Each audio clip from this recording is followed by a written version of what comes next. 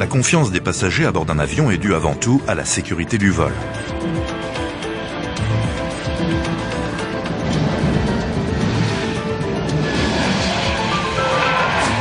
Pour le passager aérien, le rôle du contrôleur aérien est souvent méconnu. Et pourtant, dans un espace aérien contrôlé, les pilotes sont en contact permanent avec les contrôleurs de la circulation aérienne.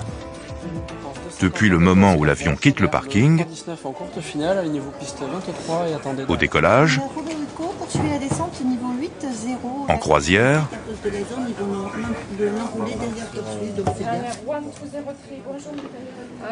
en approche. Et jusqu'à l'arrivée au parking de l'aéroport de destination. Selon la phase du vol, il existe trois types de contrôle avec une priorité absolue, la sécurité des vols et des populations survolées. Dans un centre de contrôle en route, l'espace aérien est géré selon des secteurs de contrôle. À chaque secteur de contrôle correspond une position de contrôle. Alors ici, on est dans un centre de contrôle euh, en route qui est en région parisienne et on va prendre des avions à partir à peu près de l'altitude de 5000 mètres, à peu près du niveau 200, pour les poursuivre euh, sur leur trajet euh, et sont transférés en fréquence de centre en centre et suivis grâce au radar et chaque secteur prend l'avion et l'emmène euh, jusqu'à sa destination. En équipe de deux, les contrôleurs aériens disposent d'une représentation précise de la position des avions sur leur écran radar et des informations utiles permettant de suivre l'évolution de chaque avion. Le nom de l'avion ou indicatif, le type d'avion, sa position, son altitude et sa vitesse.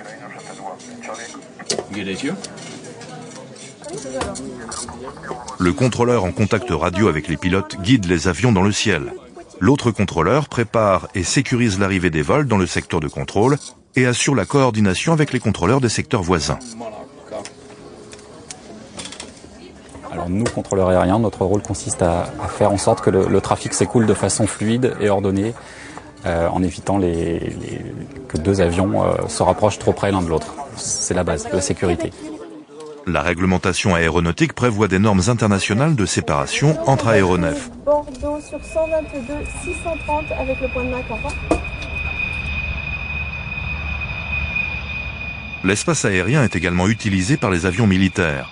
Les avions de chasse évoluent dans des zones d'entraînement spécifiques, interdites aux avions civils pour des raisons de sécurité. Le ciel français est l'un des plus denses d'Europe. Pour utiliser au mieux l'espace aérien, les besoins civils et les besoins militaires sont planifiés plusieurs jours à l'avance au sein d'une cellule dédiée située à Atis-Mons, en région parisienne. Cette organisation participe à un écoulement sûr et efficace du trafic aérien civil et militaire. Comme pour le contrôleur en route, le contrôleur d'approche assure la sécurité des vols grâce aux informations visualisées sur son écran radar. Ici, le travail est organisé en distinguant les vols au départ et les vols à l'arrivée. Le contrôleur doit prendre en compte les différentes configurations de circulation autour de l'aéroport, qui varient notamment en fonction des conditions météorologiques. Nuages, Broken, 3700 pieds et 4300 pieds. En phase de descente, le contrôleur a en charge des avions en provenance de plusieurs directions. Il doit les guider vers l'axe d'approche finale en les alignant les uns derrière les autres selon leur performance afin d'optimiser l'utilisation des pistes. Pour des raisons de sécurité, le contrôleur aérien assure les séparations entre chaque avion.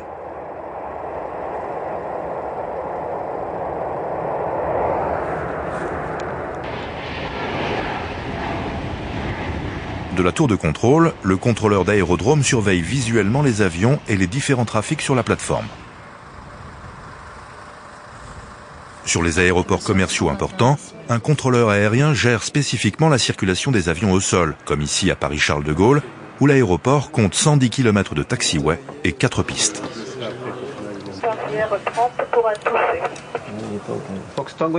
Sur les terrains où évoluent essentiellement des vols à vue de l'aviation légère, la gestion du trafic dans la circulation d'aérodrome est assurée par un contrôleur d'aérodrome. En fonction du trafic, il peut aussi être assisté par un contrôleur sol. De plus, le contrôleur aérien civil doit coordonner ses actions avec les contrôleurs aériens militaires. En particulier, en espace aérien inférieur, le contrôleur d'essai et de réception est chargé de la gestion des vols d'essai des avions civils et militaires.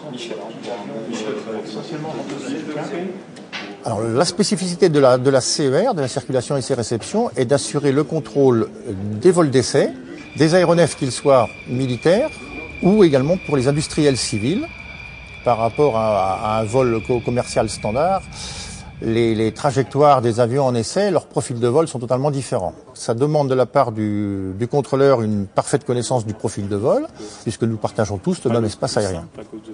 Les contrôleurs aériens disposent d'une vue globale du trafic aérien. Ils analysent en permanence une grande quantité d'informations grâce à des équipements de haute technologie. Ils prennent des décisions en temps réel pour assurer un écoulement sûr et fluide du trafic aérien, ce qui nécessite une attention extrême. Pour les arrivées Charles de Gaulle, on a quand même... Le contrôleur aérien exerce un métier au service des usagers et des clients qui exige de la rigueur, un sens des responsabilités, ainsi qu'un savoir-faire technique et opérationnel de haut niveau. Désormais, quand vous prendrez l'avion, vous serez beaucoup plus conscient du rôle essentiel du contrôleur aérien pour votre sécurité.